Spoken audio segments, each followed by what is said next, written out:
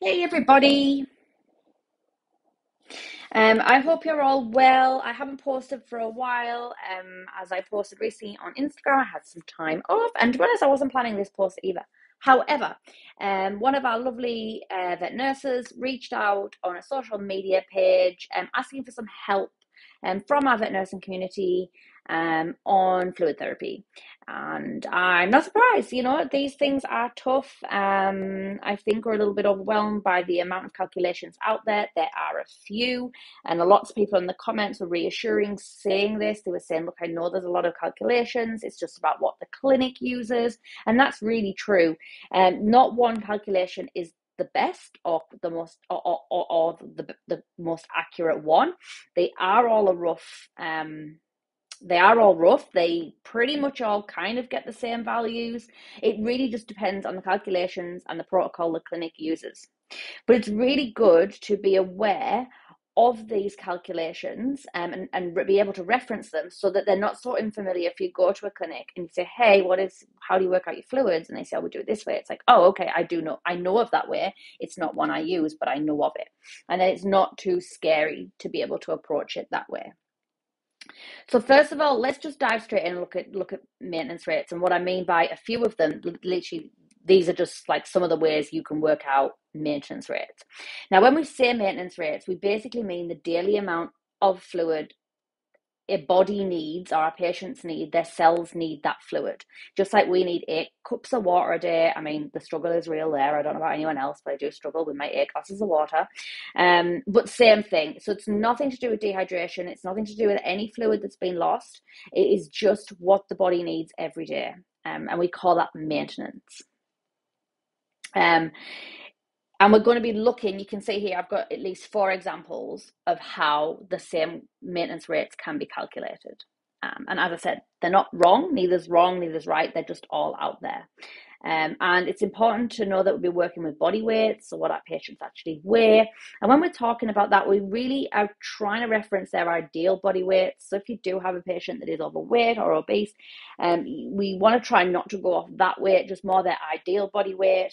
Um, because if we account for their actual body weight and they're carrying too much weight, um, we do risk fluid overloading them.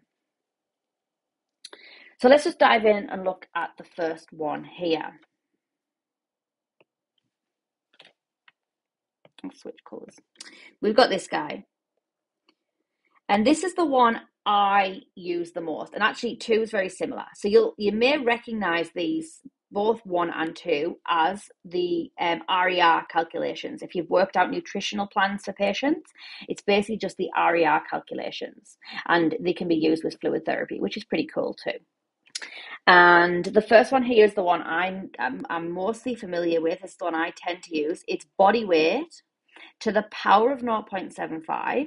That sounds scary. Once you know how to work that out on a calculator, there's literally a one button, and once you know that button, it's fine. So if, don't let that put you off too much. But body weight to the power of 0.75 times 70.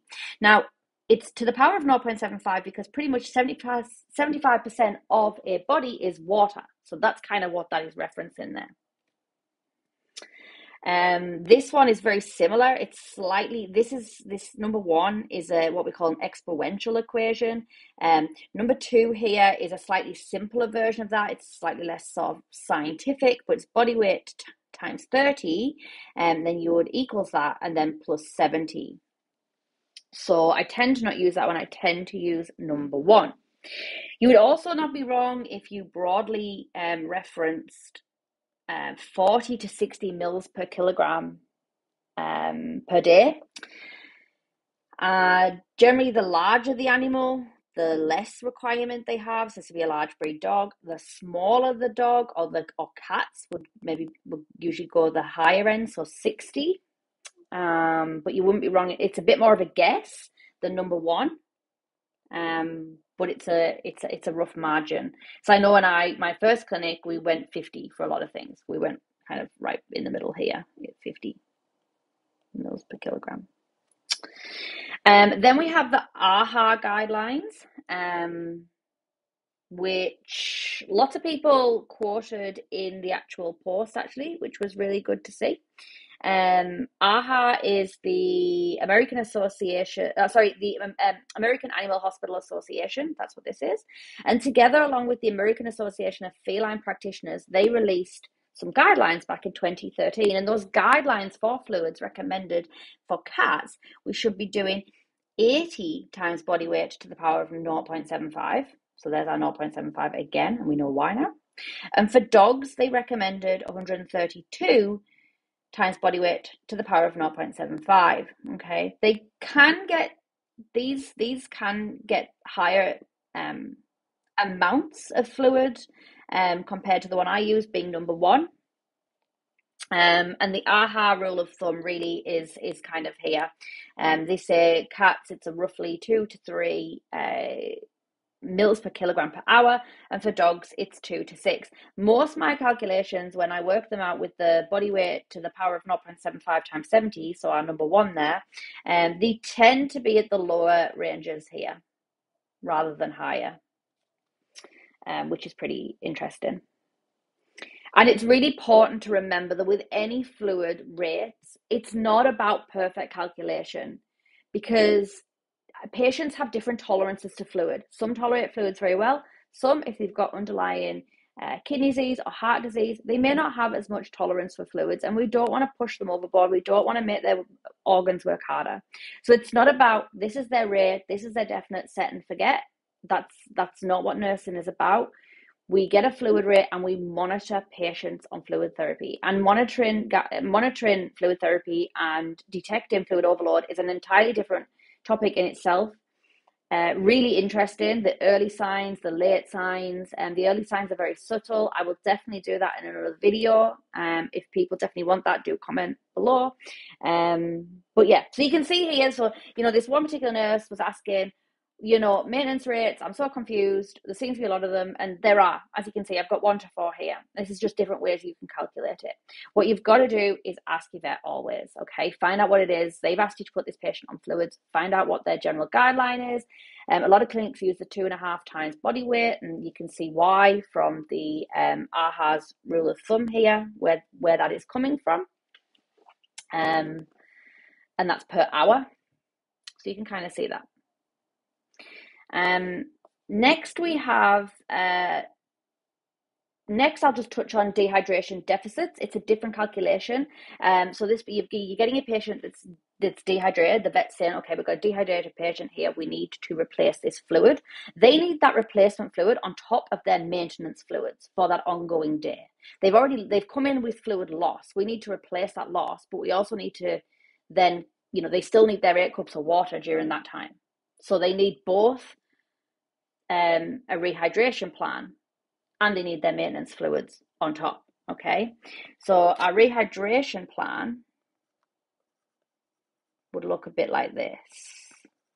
I've got a I've got an example here. We've got a 20 kilogram dog, and the vet thinks this dog is uh, or, or, or, estimates this dog to be 6% dehydrated. And the calculation for that is body weight times the percentage of dehydration times 10. So we said 20 times 6% dehydration times 10. So we're going to estimate this 20 kilogram dog has a fluid deficit, or i.e., has lost 1.2 liters of fluid, 1,200 mils.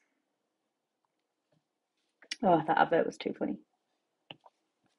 Okay, so this means 20 kilograms times 6% dehydration times 10 made um, 1,200 mils lost. That needs to be replaced. Now, generally, we replace fluids over a 24 hour period. Okay, so we'll say divide by 24. Sometimes, especially in emergency, vets may choose to replace that fluid over 12 hours instead of 24, but um, for ease here, let's just say 24. So that's uh, 50 mils an hour. That would what is what we would need on our machine. But as I said, we also need our maintenance. Okay, so these are our maintenance. This was our, we're going to call that deficit. So let's just go with my uh, the example I use, which is number one, which was body weight to the power of 0.75. So that is 20 to the power of 0.75 times 70 equals. Okay, so you saw that up there. And the way we do that is I want my calculator without the ads. Thank you very much. I'll flip him around. So start again. We do 20. Now the power of is this XY button here, okay? Um, we want him to the power of 0.75 times 70. And we've got 662 mils. So that's what this 20 kilo dog needs a day. That's its eight glasses of water. 600 and it was 62 mils. Again, we divide that by 24 because its maintenance is always over a 24 hour period, and we get a fluid rate of 27.6 mils an hour. I'm pretty sure. Let's go back. Divide that by 24 hours in the day. 27.6. Yeah. 27.6. So we need both of these going at one time. So the next thing to do is add 50 to 27.6. We'll go again. So to, uh, we said 27.6 plus 50. So the dog's food rate to replace um, its uh, 6% dehydration but continue with its fluid maintenance based on the calculation I would have used 77.6. 77.6 mils per hour. Of course, you would check that with a vet. You would monitor, um, and then if the vet used a different calculation, that would also be fine. And um, really, it's not about the fluid rate at the end of the day; it's about the monitoring always. And I think we forget that sometimes um, in clinic because yeah, things are busy. Um, if this patient had ongoing losses, if this patient was vomiting, if this patient was having diarrhea, then we also need to account for those ongoing losses. And we constantly need to be adding that because obviously, if we're replacing its dehydration and it's just having more losses, then we're always going to be on the back foot in replacing all of its fluids, aren't we? So, ongoing losses, the way I was, well, ideally, what you'd do is measure the loss. You'd physically measure it and say, right, this patient has lost 20 mils in this vomit. We need to put that 20 mils back onto its rehydration plan over a 24 hour period. And that so that you know if that makes sense. Um, if you can't measure it, let's just say it goes into the bedding and it gets soaked up, or it's outside. I was taught four mils per kilogram per episode of whatever it is. That might that might be the vomit or it might be the diarrhea. So yes, ideally you measure them, ideally replace it. But otherwise, yeah, yeah, I was taught to estimate it that way.